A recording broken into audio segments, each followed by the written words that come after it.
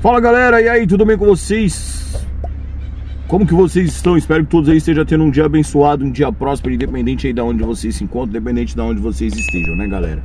Hoje é dia de jogo do Brasil, tá meio, meio, meio fraco agora de manhã, tá meio, tá meio esquisito, entendeu?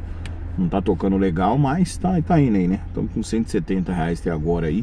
Vamos esperar agora aí, dar 10 horas aí começar um turbinho, daqui a pouco vai começar algumas coisas. Vamos ver se até a hora do jogo aí a gente consegue buscar pelo menos uns 350 aí, ficar próximo de 400, né? Depois do jogo a gente volta de novo e vê o que faz, né? Mas tá meio difícil, mas tá meio complicado. Mas não vamos desanimar nem abaixar a guarda não, que graças a Deus a gente tá tendo aí começo de dezembro aí abençoado.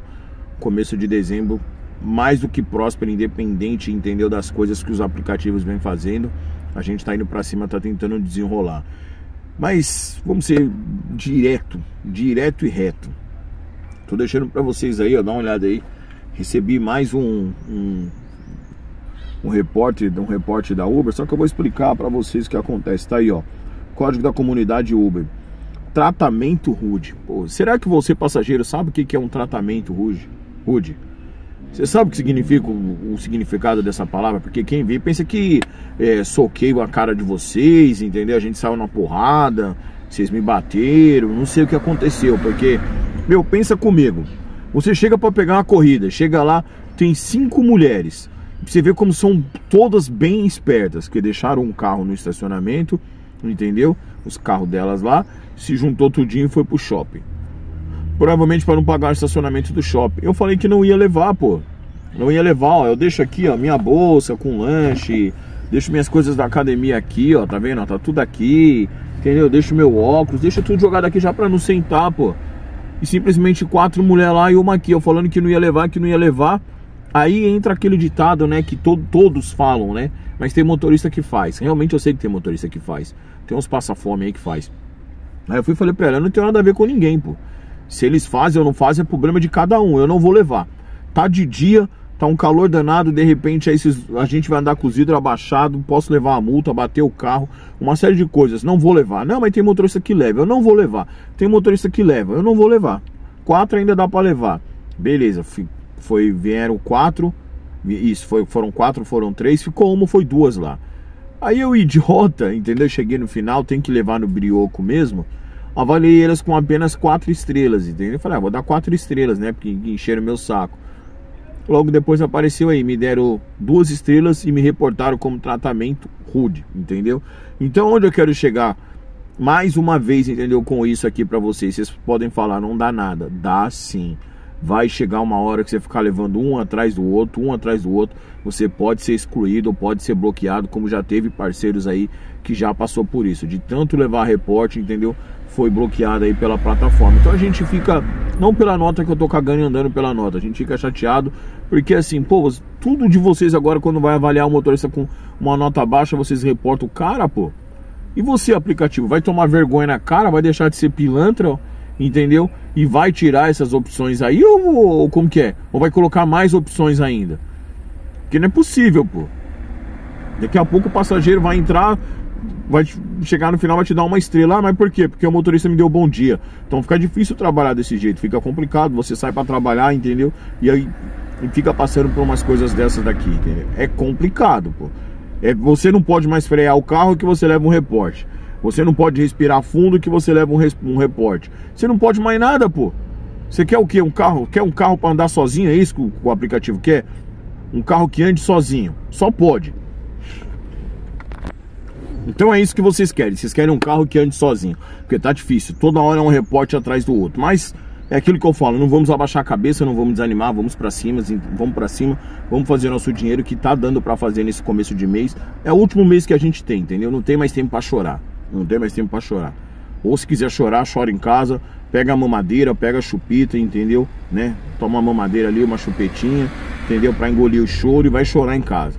Entendeu? Aí pede para a esposa, para a mãe ou para o pai ir lá trocar sua fralda, passar um lenço umedecido para você não ficar assado na rua, entendeu? Para você aguentar trabalhar, porque não tem mais tempo para choro, pô.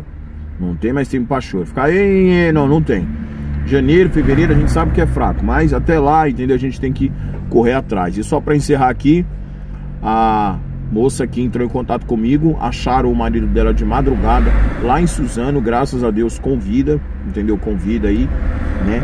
Me mandou uma foto deles aqui, da família aqui toda toda reunida, agradecendo aí. Eu peço desculpas, né? Mais uma vez, porque devido eu estar tá trabalhando o dia inteiro, 12 horas na rua aí, eu não tô tendo tempo para praticamente nada, entendeu? Então eu não tinha visto a mensagem, senão eu já tinha parado, soltado um vídeo ali, entendeu? Pra galera aí ficar atenta, mas peço desculpa, me mandaram uma foto aqui, a família toda reunida, o rapaz todo arrebentado, acharam o rapaz lá em Suzano, essa madrugada. Vocês já sabem, né? Saque Pix e aquela história toda, entendeu? Uma longa história aqui, uma longa história e uma história triste, hein? Que o cara sofreu, hein? Coronhada na cabeça, levou um monte de coisa aqui, sofreu um pouquinho, entendeu? Mas graças a Deus o nosso parceiro aí tá vivo. Acharam ele lá, entendeu? Acharam não, né? Soltaram o parceiro de madrugada lá numa estrada qualquer lá em Suzano lá e ele conseguiu chegar em casa aí pedindo ajuda. Beleza, galera? Então foi isso que aconteceu.